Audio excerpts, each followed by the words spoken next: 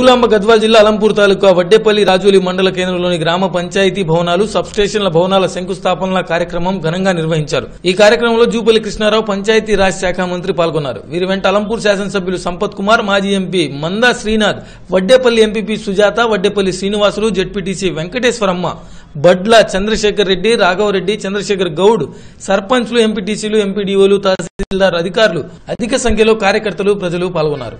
అలంపూర్ నియోజకవర్గంలో వివిధ అభివృద్ధి కార్యక్రమాలకు పునాది రాయి వేసుకోలేదు కొన్ని ఇనాగ్రేషన్ జరిగింది ఒక ఐదు సబ్ స్టేషన్ల పునాది రాయి తర్వాత ఇనాగ్రేషన్ చేసుకోలేదు అలాగే తొమ్మిది గ్రామ పంచాయతీ పునాది రాయి జరిగింది. అలంపూర్ రైతాంగానికి సంబంధించిన ప్రజల సమితి ప్రధాన సమస్యలు లిఫ్ట్ మంజూరి పనులు త్వరలో ప్రారంభం చేస్తాయి అలాగే కరెంటు సమస్యలు ఉన్నాయి అట్లాగే సాగునీటి సమస్య తిరగబోతా ఉన్నాయి తాగునీటి సమస్య తిరగబోతా ఉన్నాయి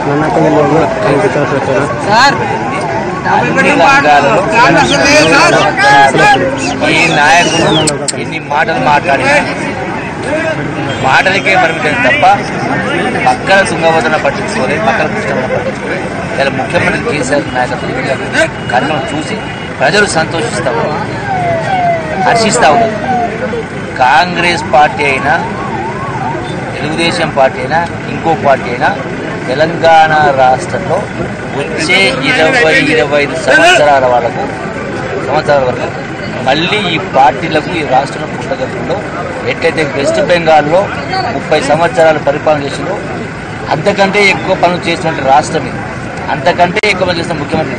వంద శాతం వాళ్ళు ఒక్కొక్కగా పోటీ చేసినా వాళ్ళకి అర్థమైపోయింది. అందుకనే మేము మళ్ళీ ఎన్నికల్లో మాకు పుట్టగతులు లేవనే దేవులు ఆడుకుంటారు ఆ పార్టీ నాయకుని ఈ పార్టీ నాయకుని ఎవరిని దేవులు ఆడుకున్నా డబుల్ బెడ్రూమ్ ప్లాట్లు మాకు అసలు రావే సార్.